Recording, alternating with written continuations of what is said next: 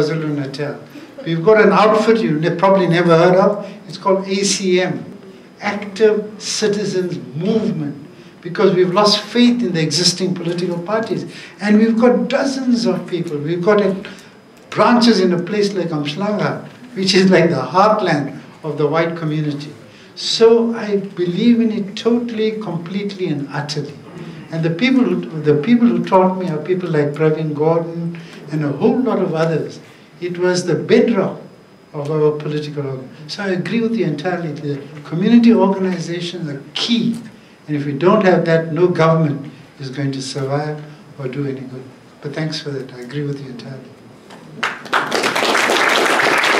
Thank you so much, Professor Coovadia. I think this discussion has been a wonderful opening um, for the rest of the evening. And so I just want to, before we, you sit down, I just want to um, invite Professor Uta Lehmann just to give a vote of thanks. I know it's been a long evening, but you can hear from the very passionate responses how much you've uh, inspired all of us here.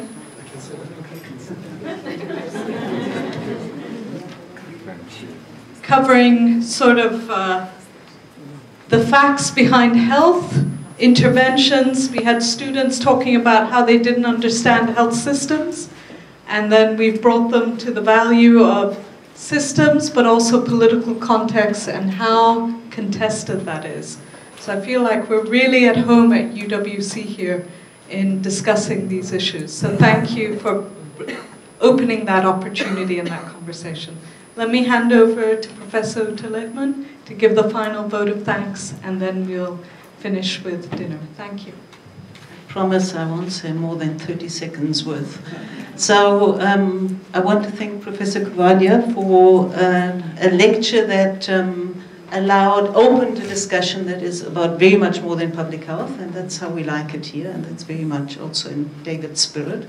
I'm very glad that David got, gets on these occasions part of what otherwise he, he would not hear at his funeral. So great advantage over your mother.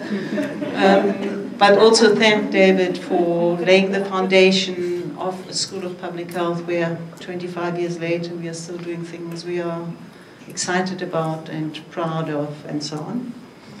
Um, so thank you to both the um, grey-haired men, I suppose. and of course very much um, we have been thinking, or we are thinking a lot about, so where's the next generation and what the next generation is in our staff, amongst our students, and that is what makes us really excited.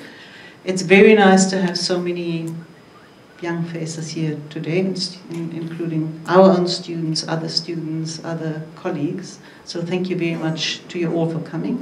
Thanks, Anthea Rhoda, for your um, address as a um, acting dean.